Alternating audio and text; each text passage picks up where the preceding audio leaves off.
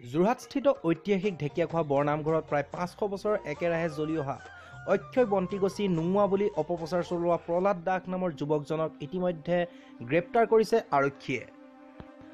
উল্লেখ্য যে শিৱসাগৰ নিবাসী প্ৰহ্লাদ দাস নামৰ এই যুৱকজনে ঐতিহ্যমণ্ডিত ঢেকীয়াখোৱা বৰনামঘৰৰ অক্ষয় বন্তিগছি নুমাই যোৱা বুলি কালি ফেচবুকত এক অপপ্ৰচাৰ চলাইছিল। এই অপপ্ৰচাৰ বনজুইৰ দৰে তৎক্ষণাত ছ'চিয়েল মিডিয়াত বিয়পি পৰাৰ লগে লগেই সমগ্ৰ অসমতে এক তীব্ৰ প্ৰতিক্ৰিয়াৰ সৃষ্টি হয়।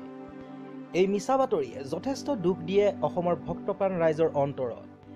বিভিন্নজনে এয়া এক অমংগলৰ লক্ষণ বুলি নিজৰ ঘৰৰ সন্মুখত জ্বলাই একোগছিকৈ বন্তি।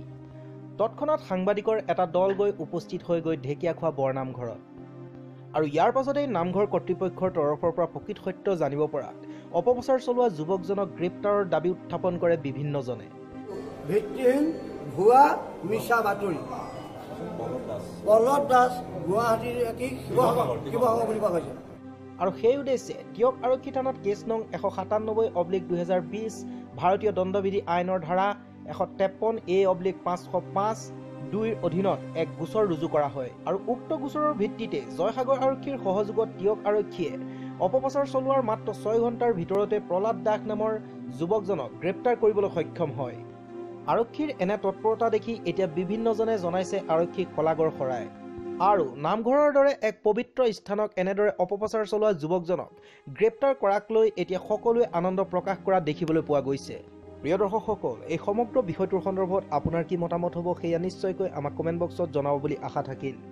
এইখিনিতে আমি আপোনালোকক জনাই দিব বিচাৰোঁ যে link up book of world ৰেকৰ্ডত নাম সন্নিৱিষ্ট হোৱা ঢেকীয়াখোৱা বৰনামঘৰৰ এই অক্ষয় বন্তিগছিৰ সন্দৰ্ভত আৰু ঢেকীয়াখোৱা বৰনামঘৰত সংৰক্ষিত অৱস্থাত ৰখা পাঁচশ বছৰ পুৰণা এপাত ঢেকীয়া ফুলৰ সন্দৰ্ভত ইতিমধ্যে আমাৰ এটা বিশেষ প্ৰতিবেদন এই চেনেলত প্ৰকাশ কৰা হৈছে।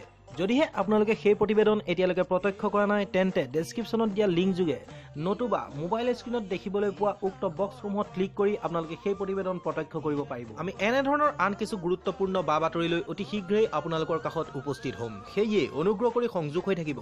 আপোনালোকৰ প্ৰিয় ইউটিউব চেনেল ছ'চিয়েল মিডিয়া জাৰ্নেলিজিমত